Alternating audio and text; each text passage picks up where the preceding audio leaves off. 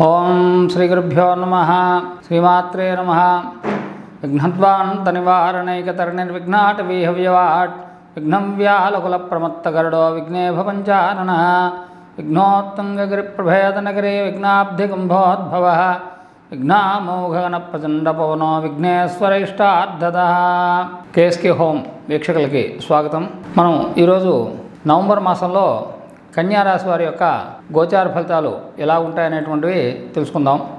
అయితే ఈ కన్యారాశిలోని గ్రహాలు అయితే ఏమీ లేవు. అయినా సరే ఈ యొక్క పన్నెండు రాశుల్లోనే ఉన్నటువంటి తొమ్మిది గ్రహాలు ఎక్కడెక్కడ ఉన్నాయనేటువంటివి ఒకసారి మనం చూద్దాం. మేషంలోని రాహు ఉన్నాడు. కంచికి అష్టమం అనమాట ఆ తర్వాత మిథునంలోని కుజుడు ఉన్నాడు. రేపు పదమూడవ తారీఖు వరకు కూడా కుజుడు అక్కడే ఉండి తర్వాత వక్రించి ఆయన వృషభంలోకి రావడం జరుగుతుంది. అంటే కన్య నుండి నవమంలోకి వస్తాడు. ఆ తర్వాత తులలోని నాలుగు గ్రహాలు ప్రత్యేకించి కేతువు ఉన్నాడు. ఆ తర్వాత శుక్రుడు బుద్ధుడు కూడా అక్కడే ఉన్నారు. రవి కూడా అక్కడే ఉన్నారు అయితే వీళ్ళు పన్నెండు పదమూడు పదహారు తారీఖుల్లోని వీళ్ళు మళ్ళీ రాశి మారడం అనేటువంటిది జరుగుతుంది. వాళ్ళు ఉచికంలోకి ప్రవేశిస్తారు. పంచమ స్థానం అయినటువంటి మకరంలోని పంచమ షష్టాధిపతి అయినటువంటి శని ఉన్నాడు. తను కూడా మొన్న వక్రత్యాగం చేయడం జరిగింది.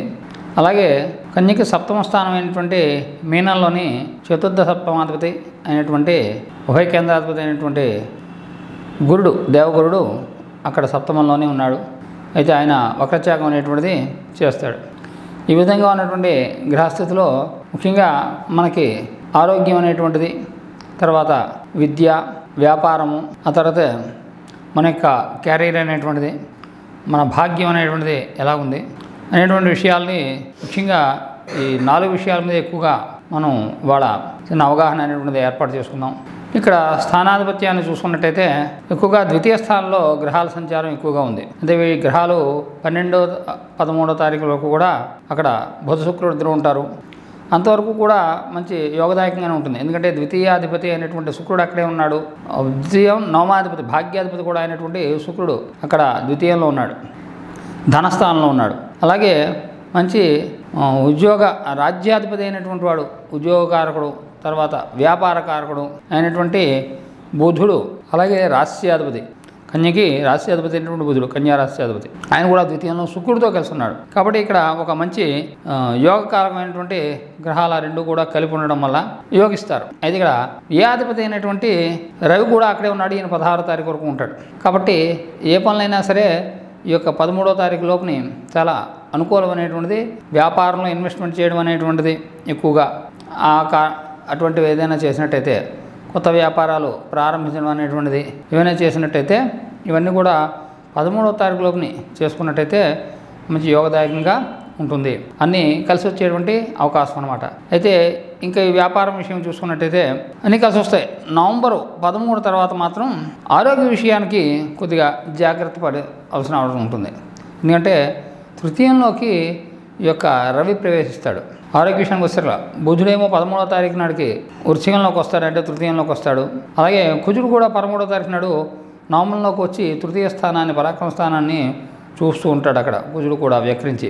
ఈ యొక్క కారణాలు అందుగురించి పదమూడవ తారీఖు వరకు కూడా పర్వాలేదు కానీ పదమూడో తారీఖు తర్వాత ఆరోగ్య విషయంలో జాగ్రత్తలు పాటించడం అనేటువంటి చాలా అవసరం. కొద్దిగా మానసికంగా ఒత్తిడి గురి రావడం తర్వాత చిన్న చిన్న వివాదాలు అనేటువంటిది వస్తూ ఉండడం తర్వాత బీపీ అనేటువంటిది కొద్దిగా పెరిగేటువంటి అవకాశం. అంటే ఏ విధంగా అయినప్పటికీ కూడా టెన్షన్ అనేటువంటిది పెరుగుతూ ఉంటుంది. దీనివల్ల మనకి ఆరోగ్యం అనేటువంటిది కొద్దిగా స్థిమితంగా ఉండకపోవడం అనేటువంటిది జరుగుతుంది. కాబట్టి పదమూడు తర్వాత ఆరోగ్య విషయంలో జాగ్రత్తలు తీసుకోవాలి. పదమూడు వరకు కూడా పర్వాలేదు ఏ విధమైనటువంటి ఇబ్బంది లేదు.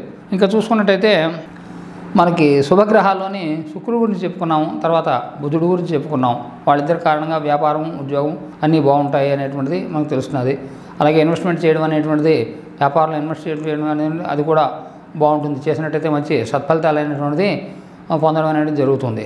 అయితే ఇక్కడ ఇంకో విషయం ఏంటంటే చతుర్థ సప్తమాధిపతి అయినటువంటి గురుడు సప్తమంలో ఉన్నాడు. ఈ గురుడు మనకి చాలా రాజయోగాన్ని ఇస్తాడు. ఇక్కడ మామూలు చెప్పుకోవాలంటే గురుడు సప్తమంలో ఉన్నాడు కాబట్టి భార్య వల్ల కూడా మనకి సహకారం అనేటువంటి బాగా లభిస్తుంది.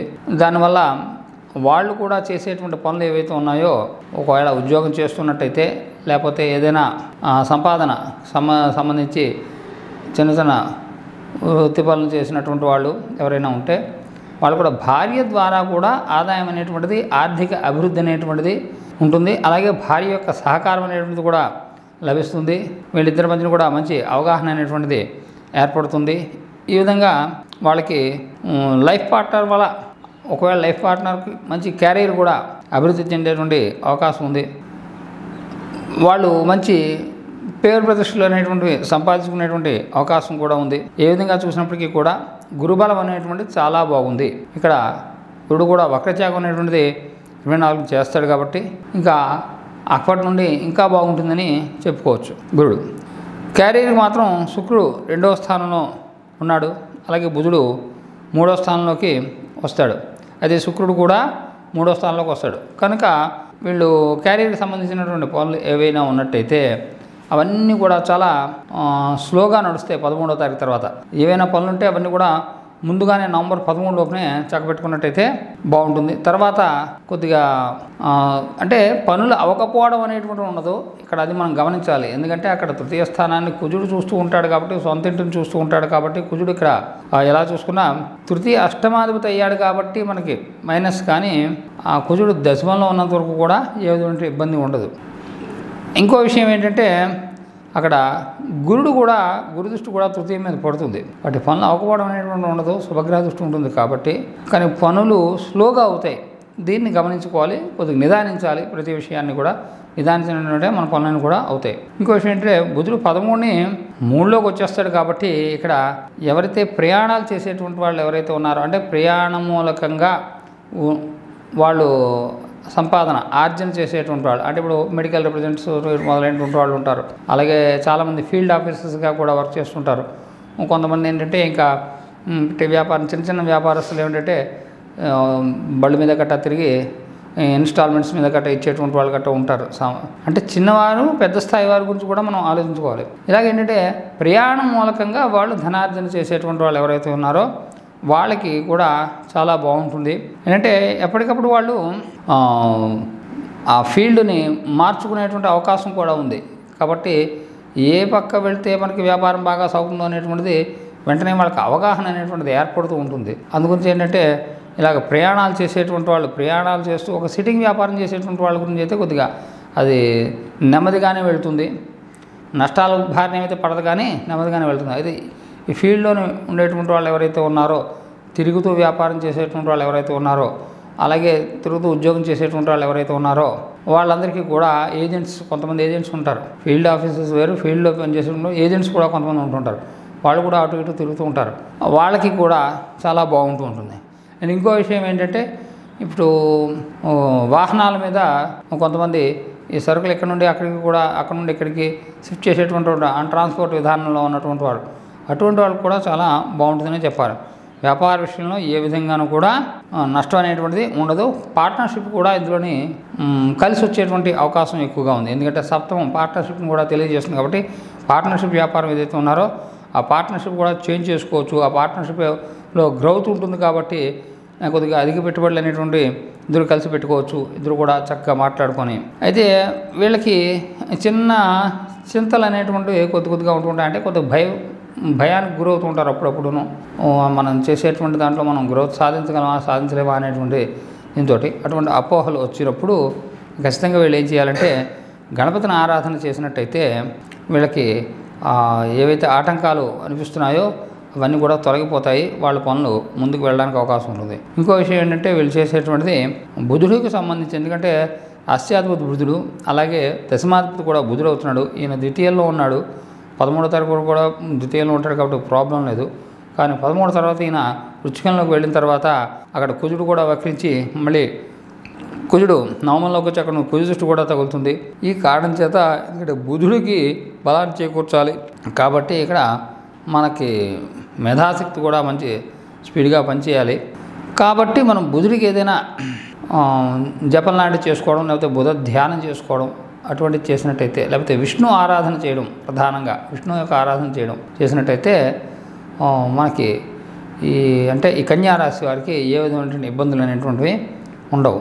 ఇంకొక విషయం ఏంటంటే చాలామందికి కేవలం లైఫ్ పార్ట్నర్ గురించి చెప్తున్నాం కానీ ఇంకా లైఫ్లో సెటిల్ అవ్వాల్సినటువంటి వాళ్ళు ఉన్నారు అలాగే వివాహం చేసుకోవాల్సినటువంటి వాళ్ళు వాళ్ళు కూడా మ్యారీడ్ లైఫ్ చాలా బాగుంటుందని చెప్పాము. కాబట్టి ఇక్కడ మ్యారీడ్ లైఫే కాదు అలాగే వివాహ ప్రయత్నాలు చేసేటువంటి ఎవరైతే ఉన్నారో వారు కూడా ప్రయత్నాలు ఫలించేటువంటి అవకాశం అనేటువంటిది కూడా ఉన్నది. ఎందుకంటే సప్తమంలో గురు సంచారం ఉన్నది కాబట్టి అది వక్రగతి పోయింది కాబట్టి అలాగే అయితే పంచమంలో శని ఉన్నాడు. ఆ పంచమంలో శని ఉండడం వల్ల వచ్చేటువంటి నష్టం ఏమీ లేడు సొంత ఇంట్లో ఉన్నాడు కాబట్టి ఆయన కూడా బలవంతుడే. ఆ కారకత్వం కూడా శని యొక్క కారకత్వం కూడా మంచిదే కాబట్టి అష్టమంలోని అష్టమంలోనే ఎక్కడ కూడా రాహు ఉన్నాడు విషయం తప్ప ఇంకా వేరే ఏమీ ఆలోచించక్కర్లేదు.